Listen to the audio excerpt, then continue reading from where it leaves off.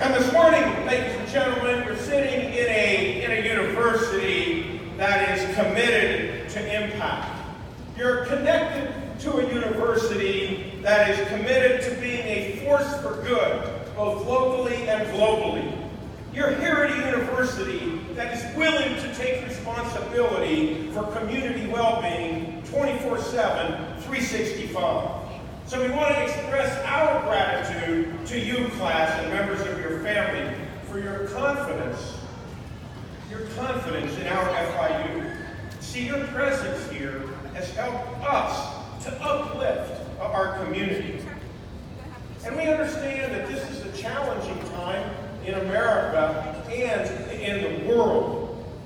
These challenges emanate from the rapidly changing impact of technology, machine learning, automation, virtual reality, the Internet of Things, and just-in-time learning. But remember,